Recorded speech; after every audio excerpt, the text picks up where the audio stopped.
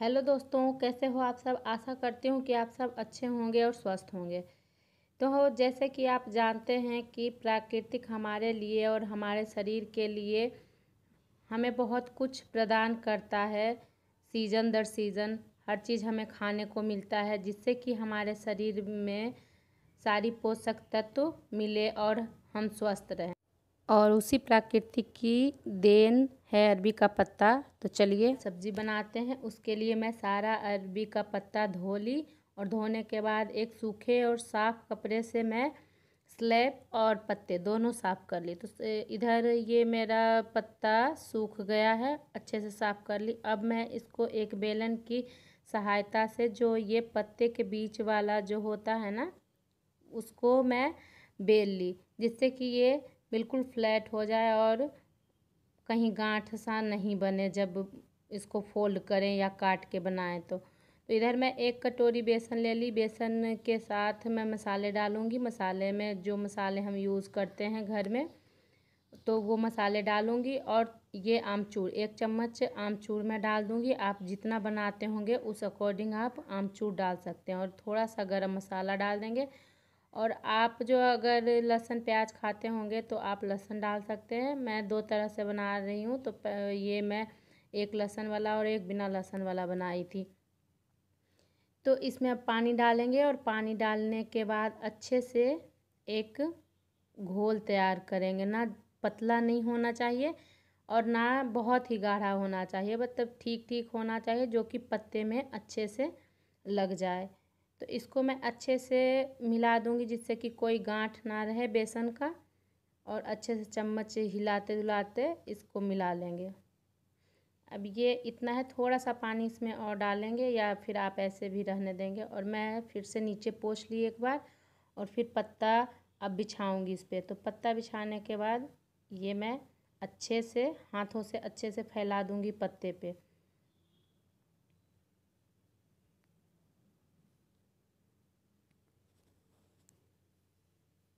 और फैलाने के बाद देखो अच्छे से फैला दिए। अब फिर दूसरा पत्ता रखेंगे इस पर और फिर इस पर भी वैसे ही बेसन का घोल लगाएँगे इस पर और वही एक पे, एक पत्ते पे पत्ता डाल के और बेसन का घोल लगाते जाएँगे।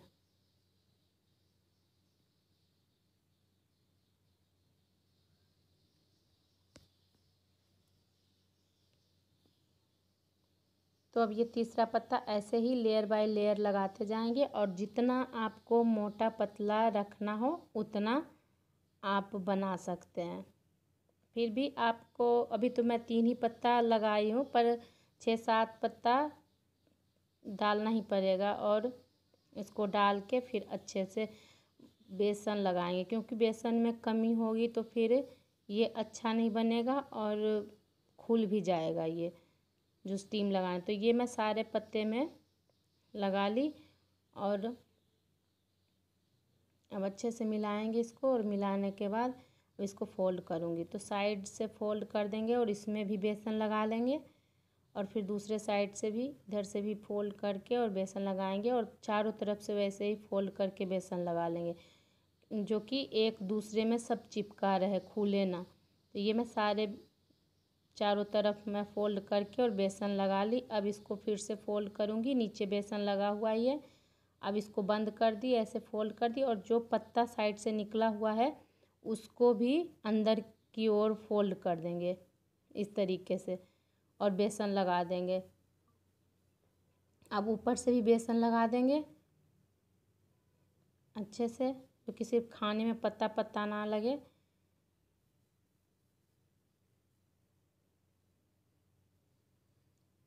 अब इधर मैं कढ़ाई में पानी पहले ही रख रखी थी गर्म होने के लिए तो ये गर्म हो गया। इसके ऊपर छन्नी डाल के अब मैं इसको रख दूँगी और बीस मिनट के लिए इसमें स्टीम लगाएँगे और एक बड़ा सा बर्तन से इसको ढक देंगे। तो इसको बीस मिनट के लिए छोड़ देंगे। अब ये देखो बीस मिनट हो गया। अब देखते हैं इसमें फोक डाल के। तो ये बिल्कुल सही था और पक गया इसको अब चाकू की सहायता से काटेंगे। तो काटने के बाद इसको मैं दिखाती हूँ अभी कि सही बना है या नहीं। देखो कितना अच्छा लेयर आ गया है और बिल्कुल परफेक्ट बना है। न ज़्यादा बेसन है और ना कम है, सही बना है बिल्कुल। और खाने में भी बहुत टेस्टी है। अब चलिए बनाते हैं सब्ज़ी। तो सब्ज़ी बनाने के लिए मैं कढ़ाई रख रखी थी तेल गरम करने के लिए। उसमें खड़े मसाले और तेज पत्ता, जीरा, हींग और प्याज डालेंगे। प्याज, लहसुन सब कुछ इसी में पिसा हुआ है तो इसको अच्छे से डाल के और भून लेंगे। इसको अच्छे से भून लेंगे। अब इसमें थोड़ा सा कसूरी मेथी मेथी डालेंगे। कसूरी मेथी डालने के बाद अच्छे से मिला देंगे और इसको भी अच्छे से फ्राई करेंगे। अब इसमें डालेंगे मसाले। मसाले में हल्दी, मिर्ची, धनिया पाउडर और नमक, सारा कुछ डाल के और थोड़ा सा पानी डालेंगे, जिसमें मैं प्याज पीसी थी, उसी को धो के थोड़ा सा इसमें मैं डाल दूँगी पानी। और पानी डालने के बाद मसाला अच्छे से पानी में भून जाएगा और जलेगा नहीं। तो इसको अच्छे से पका लेंगे। थोड़ी सी नमक और डाल रही हूँ मैं, क्योंकि मुझे लग रहा है कि नमक थोड़ा कम हो जाएगा। तो मैं इसमें नमक डाल दी और इसको अच्छे से पकाएँगे। और इसमें मैं घर की मलाई थोड़ी सी डाल रही हूँ। तो इसमें मैं घर की दो दो, तीन चम्मच मलाई होगी, वो डाल रही हूँ और थोड़ा सा दही डालूँगी इसमें। वो भी मेरा घर का है तो मैं उसमें दही डालूँगी जिससे कि खट्टापन आ जाए, क्योंकि आपको पता है कि टमाटर इतना महँगा हो गया है और दिन ब दिन और होते ही जा रहा है। तो इसलिए हम लोग टमाटर नहीं लाते हैं। और इसमें दही या कोई भी सब्ज़ी बनाना हो, दही या आमचूर का प्रयोग करते हैं, वही डाल के बनाते हैं। तो इसमें पानी डाल देंगे। पानी डालने के बाद इसको अच्छे से उबलने के लिए छोड़ देंगे।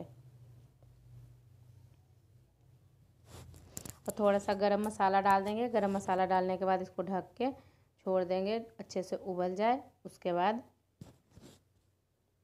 अब ये उबलना शुरू हो गया है।